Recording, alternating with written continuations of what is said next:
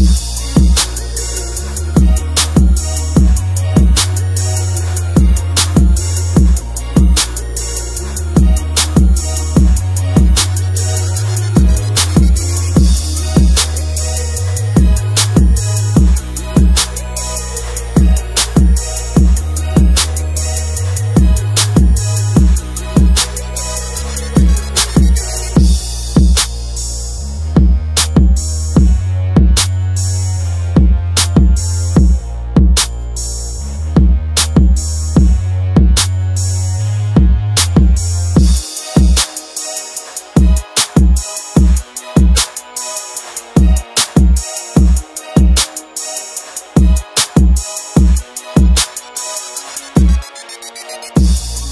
I decided to get into professional wrestling because I've always loved it.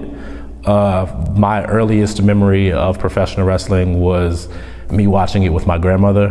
Um, just it's the the pomp, the circumstance, the explosions, the the the larger than life characters. It's it's always been something that kind of resonated with me a little bit. I think because uh, when I was younger, I was kind of a, a quieter kid, so it, it definitely I feel like it brought something out of me.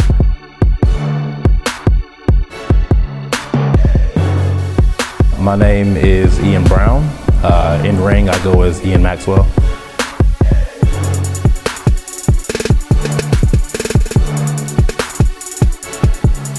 I started wrestling, or started training, excuse me, uh, two years ago, uh, December of 2014. In ring right now, uh, I am a champion. Uh, yes, I would be considered a high flyer. Uh, a lot of jumping, a lot of running. Um, a lot of my my moveset is more towards uh, body manipulation and and speed. When I was 11, I started watching wrestling. it was WrestleMania 28 to be exact. And the first match was Daniel Bryan versus Sheamus, and AJ Lee came out with Daniel Bryan, and just from there, I knew that this is like my love. My name is Kristen Brakovic, but when it comes to wrestling, I'm known as Alva I do ring announcing, and I am currently training. I've been training for about seven, seven, eight months now. I go two, three times a week to training in George South. Does training on Tuesdays, so he has us just do things like, you know, tackles and drops and drop downs and things like that, just to like the basics. He teaches us old school wrestling. And on Wednesdays, Caleb Konley, he does more like advanced things and he does a lot of blow up drills. It's really like harsh, but it's a lot of fun. As I grew up, I grew up in a, uh, the, the, housing projects. Uh, not enough money, you know, not enough money to go around to go to you know different places like the circus or anything. I just turned on the television one day and and I saw professional wrestling for the first time when I was about eight years old. And when I watched it, uh, from that point on, I knew that's what I wanted to do. My name is Deon Johnson. Uh, I'm going into my 26th year of professional wrestling this year. I'm a uh, old school throwback of the Junkyard Dog, Dusty Rhodes, Jimmy Valiant, all those three guys combined into one. My name is Rayhan Winston. Uh, my ring name is Montana Black. I've been wrestling for almost two years now. Uh, current status is injured or hurt at the moment. My name is Austin Steele. Well, I've been retired for the past uh, 20 years. Um, Recently, I've got back into the wrestling business, which I've missed totally. I am the locker room manager and commissioner of the NAWA, North American Wrestling Alliance. I've been in sports uh, my entire life. I've always had a very short attention span as, as far as uh, most sports were concerned. I went from karate to running track to playing basketball back to running track. My fitness level has definitely increased. I started working out a lot more than I did before. You know, I can run longer on a treadmill before I get winded.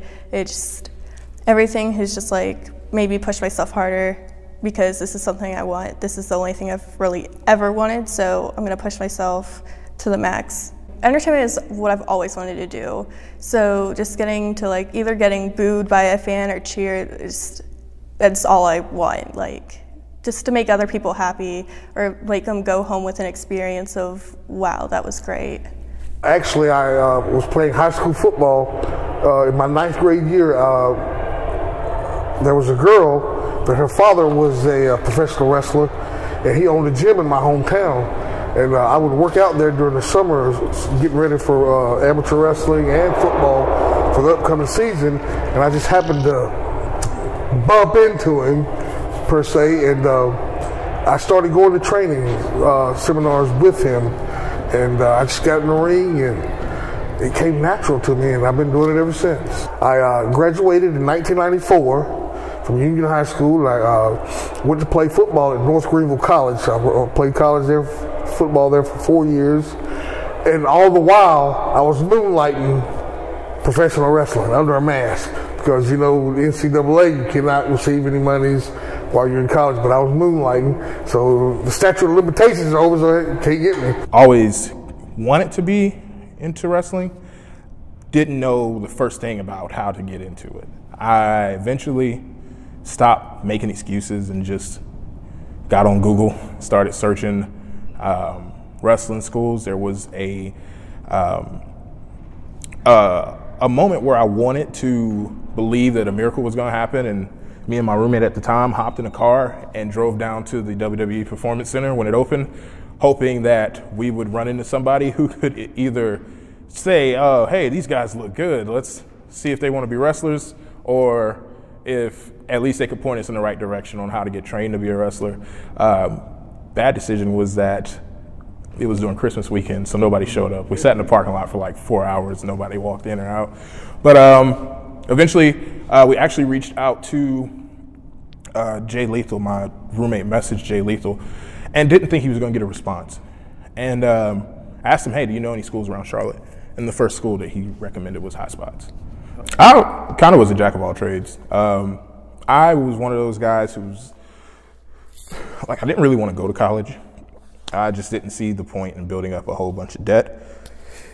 And um, decided that uh, prior to wrestling, um, my career choice was just I was going to do whatever could make me money. So the original goal that everybody thought was for me was going to be music, and um, that's what my family does. And I didn't. I love music. I'm always going to be a lover of music, but I didn't want that to be my legacy. Was music like all the rest of my family? Like they're excellent at music. I'm not as good at it as they are at it. They all excel. And I didn't want to tarnish what they've kind of done. And so I said, I need to find something that I'm really good at. So that's where everybody thought I was going to be, was in the music business. And then I just decided I got to go find what's going to make me happy. And so that's what I started putting my hand to different things until I was able to figure out how to get into wrestling. Professional wrestling is not my full time job. I, I, do work every weekend. Um, got to make that money. I wrestle every weekend. Um, sometimes uh, it's a three day weekend, sometimes it's a two day weekend. It just all depends on uh, what the booking situation looks like for that month. This is their learning, this is where they learn, and this is where they get the exposure. And uh, hopefully, and I pray that I'd like to see every one of them make it. But, uh, you know, you'll see the ones that, that will eventually as long as, like I said, take care of themselves, take care of their bodies, and use their mind. Listen up, please, if you don't mind. Uh, uh, Jason, anything before we get ready to start? Larry, we got five matches in the uh, big bunkhouse. The matches will be posted in just a second. Uh, if you know your first or second, we got your finishes and you're ready to go. Uh, we got a pretty good little crowd here, a lot of kids, so let's go have some fun. And George's going to lead us before we get started. Uh, and you're going to do the 10 bell? Yes, we're going to go out. Uh, we're going to do the national anthem. We're going to introduce Danny Austin Steele, our new commissioner. And then uh, he's going to have us all go out. Uh, we're going to do a 10 bell salute for all the fallen uh, Ivan, George Steele, um, a few of the others. So. So George will lead us yeah, and we'll get started. Guys, let's pray real quick. Father, I just come to you, Lord, right now to thank you so much for my life, to thank you for the years that you have been so good to me. And Lord, I thank you for mercy and grace for all the times that I have failed you. And Lord, tonight we come, Lord, to thank you so much for uh, this good house that you've given us. Thank you for Jason. I thank you for his hard work. I, Lord, and for all of the help that he's had. Lord, I ask that you watch over everybody in this room, that you'd keep us safe and protect us. Uh, there's a lot of friendships. Lord, there's a lot of miles in this room. And I just ask that you would watch over us and keep us safe. Lord, I do pray, especially right now for Ivan and uh, Lord, for what he meant to a lot of us. I pray that you'd continue to bless his family And Lord, we thank you so much that uh, you have allowed us to do something that we've loved for a long time. So, Lord, may you use us. May everything that's done here just bring honor and praise to your name. In Jesus' name we pray and give thanks. Amen. Amen. Amen. All right. Thank you, guys. Thank you. Thank you.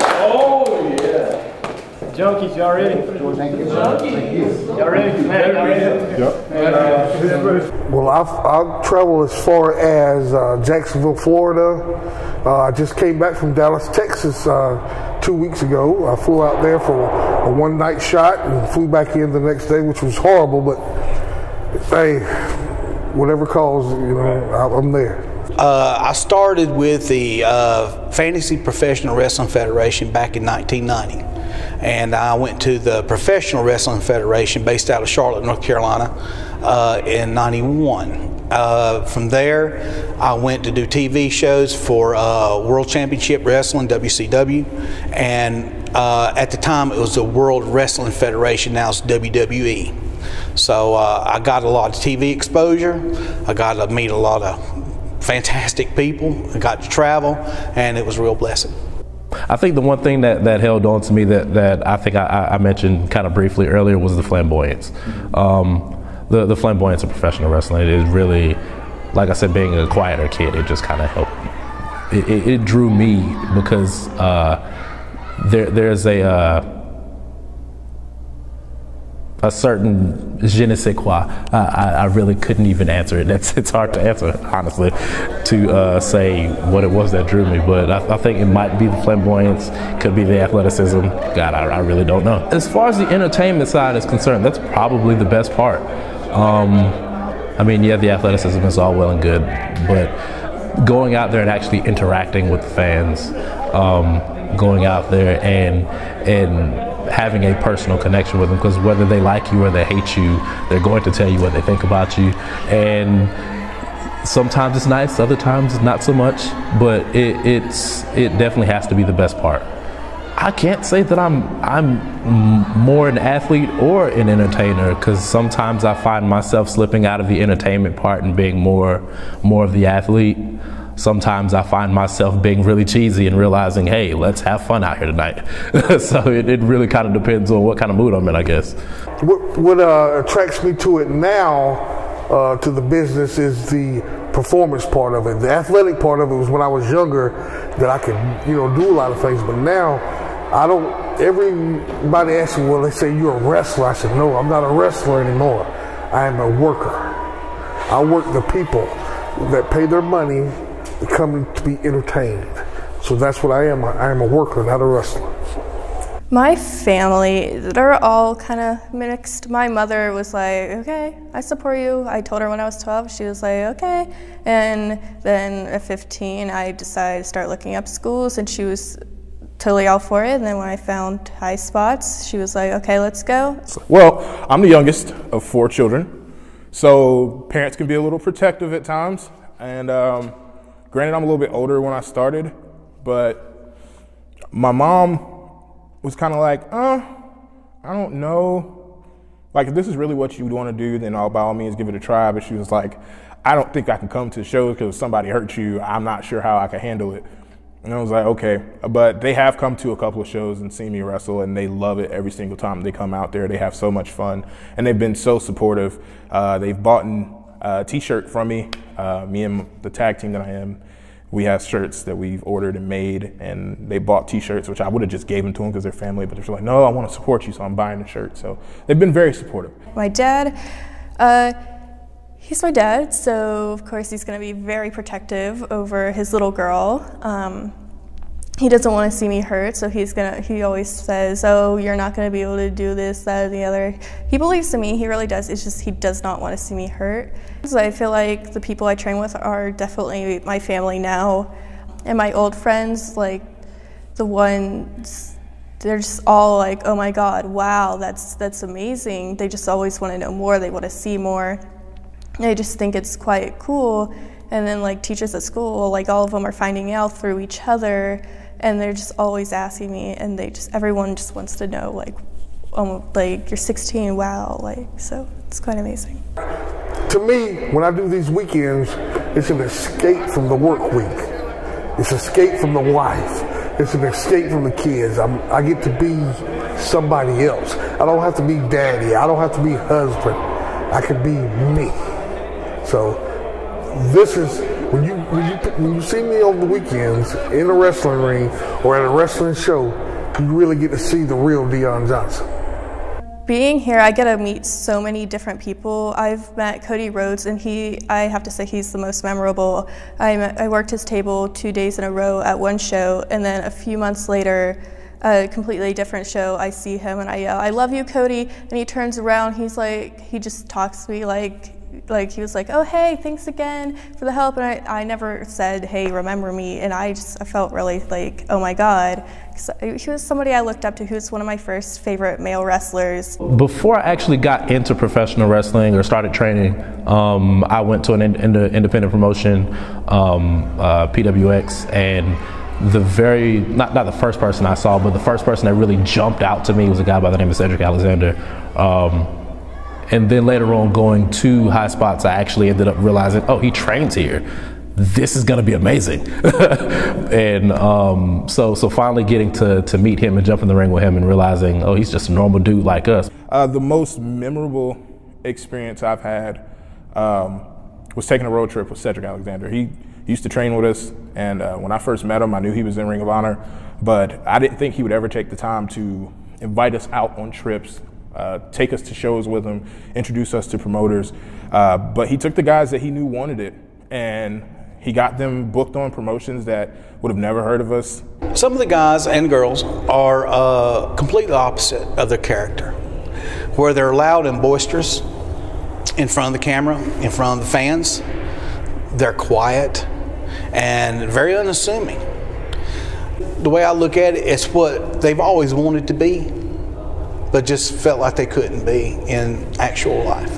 I wrestled Lex Luger uh, in uh, the WWF at the time, and uh, it was it wasn't long afterwards he had a spinal uh, stroke. They actually paralyzed him, and uh, fortunately, I was one of the later matches that he ever had. So I got I was fortunate to wrestle him. Um, Tatanka, that was in WWF. Um, we lost a dear friend the, the last night I wrestled him. It was uh, July 3rd, 1994, Ocean City, Maryland.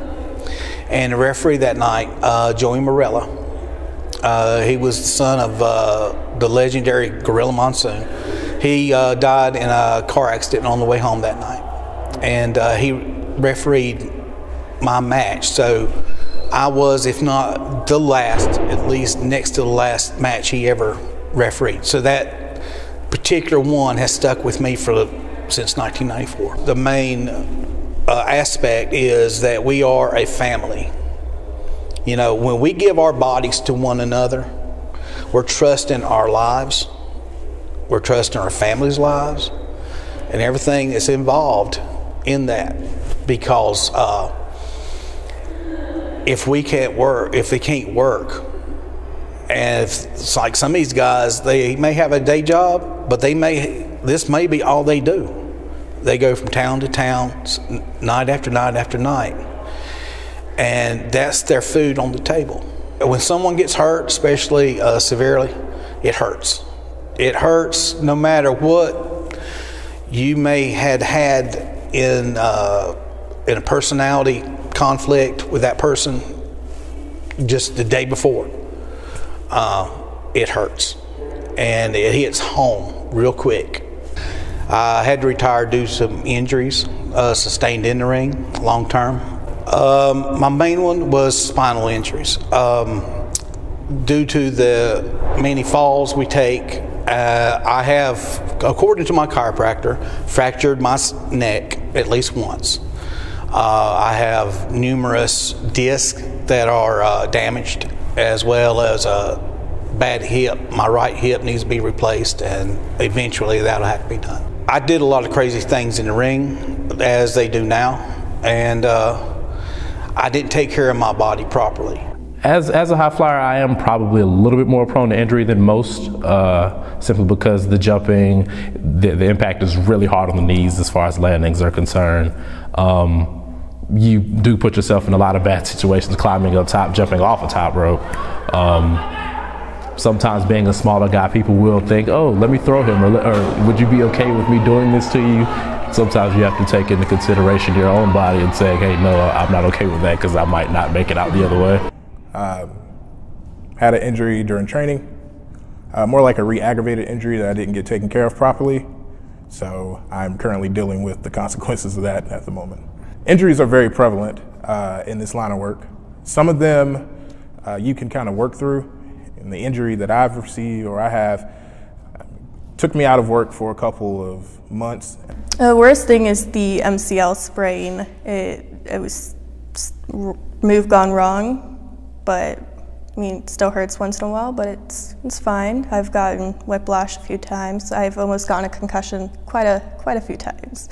In, in my first year of wrestling, I actually ended up having to uh, take about three four months off because I accidentally kneed myself in the face doing something. Uh, something that somebody post proposed to me saying, "Hey, you know, it'd be really cool if we did this thing," and I was like, "Oh yeah, that'd be amazing." And the ceiling was really low, so I was like, "Okay." Um, once we got to the point where we were doing the move, and I realized there was no way to navigate actually doing it. Um, I thought, hey, it'd be okay to bring my knee towards my face while I was curled up in like a little ball. So I kneed myself in the eye, had to have surgery and everything. So that was that was a fun three, four months? Well, the injuries that I've had uh, over the years, I've had my nose broken, a uh, couple of fingers broken, a broken ankle. Uh, I've had uh, knee problems, but I wouldn't per se uh, blame that on wrestling. I blame that on uh, high school and college football. So yeah, but you're susceptible to all kinds of injuries in that ring. People that they they think that's a big trampoline out there. Well, it's not. I mean, it's plywood, steel, just a little bit of cushion, and that's it. I mean, yeah, your body ha- your body has to be able to sustain the abuse that you're going to take. Uh, the average fan, and I was included, said, "Oh, I could get in there. They could slam me, and I'll be fine." Uh, it's a lot different when you get in there and you you get slammed in that ring, or you get thrown ten feet in the air and you land. Uh, you can land wrong, just the wrong way, and you'll never wrestle again. Being female in this industry is quite hard, and getting into it, I, I did know that it would be hard, and especially being so young, uh, it, it's still hard. You know, sometimes I get a lot of jokes thrown my way, whether it be age or being female, but it's nothing I can't handle because at the end of the day, I may be female, but I could still kick some butt. I, I'm 16. Everyone thinks I'm 18 or 19. And that's mostly when people get started, like 18, 19, after college, in their 20s. Uh, so, you know, it's kind of weird being 16 around all these 20 year olds and adults. But, you know, I'm here to like prove that I'm serious. I may be 16, but I can do it just as well as you. People outside of like the people I know, they don't usually throw a joke my way until they get to know me, and then like once they've kind of like made acquaintances with me, then they can they'll start throwing in jokes. But like it's just like the people I know, the people I train with, they're my family, so yeah, they're gonna throw jokes my way.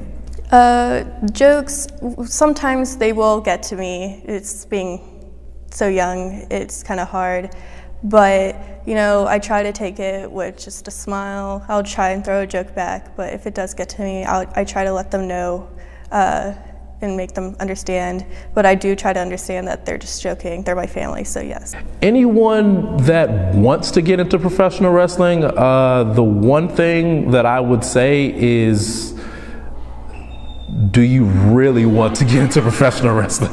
Um, simply because of the fact that it's I've there have been times where I've questioned whether I still want to do it. It's it's hard on the body. Um, the there are a lot of long nights, um, putting up rings, taking them down, getting beat up for little pay or no pay. so so I, I, would I would really question if they actually think they want to do it because it doesn't just it's not just oh I started training oh now I'm in WWE or oh I started training now I'm in Lucha Underground. It, there's a lot of space in between when you start training and when you get to whatever your end game may be. Your career is going to be what you make it. Simple as that. Uh, when you first get started, people will tell you that you know I know the goal is WWE, but only a handful of people make it there only a handful of people get looks. And I was told that from other schools that I had checked around at. Um, and then once I got into the business, I come to find out that that was not true. They're, they look at a lot of people. Um, and they say that it's about having what they need at the time they need it, which is, is very true. But if you make yourself something that everybody needs, how can they deny you? So your career is what you make it. Put time into it. Put effort into it, put energy into it, put thought into it. I would tell someone who wants to get into wrestling, just just do it. Like, don't be scared if you think you're unfit or if you think you can't do it. Any, I think anyone can do it. It just takes time and effort, and you have to put so much into it. But don't think you can't do it. Just find somewhere you can go, train, and train. If you want to be a wrestler, be a wrestler. Like, don't just like drag your foot on it and be like, oh, I'm going to be a wrestler and this is going to be my gear and this is what I'm going to wear. No, like really get out of there. Like spend time. Like me and my buddies, we sit down and we like write out storylines for ourselves. We write out uh, gear concepts. We write out uh, move sets that we want to try in the ring and things like that. We study other people's matches on a regular basis, and we're always thinking of what we can do to improve what we're already doing in the ring. Um, and it's it's starting to show. People are starting to give us the recognition that we feel like we're working hard for. So uh, that's the biggest piece of advice I can give. Well, um, what I would tell a young, inspiring pro wrestler now, after 26 years, stay out of it. Don't get in it. But uh, no, uh, I would uh, tell them to uh, work as hard as they can uh, to get their name out and, and, and always listen and work with somebody that's better than, than they are. Because uh, you only get better by working or wrestling people that are better than you. So, first of all, make sure this is the route you want to go because it's a lonely, um, self serving uh, way of life. It's hard to have a family and do this and learn your art because you, nobody can learn it for you. You can become whoever you want to be you can be uh, the biggest bad guy or the the prettiest, uh, what we call baby face. You could you could be any of that on your own time, but your time should be spent learning the the craft, learning the art of professional wrestling. Being in the WWE has always been the dream, but the dream has always also been to just be a professional wrestler and just to train. So I've gotten that WWE is the goal. That is where I want to be. Um, if at any point in time I was to wrestle for New Japan, I would love to. Or um, even Ring of Honor would be nice to work for. Lucha Underground, definitely. I love the work that they're doing. Um, and then just to be able to travel and to say that wrestling is all I do for a living, like I don't have a full time job. Wrestling is my job because it's what I love to do so much. And so that is the ultimate goal. It's just to be able to say when I go to sleep at night, oh, I don't have to get up at six or seven to go get ready for a nine to five or a 10 to six or 11 to seven.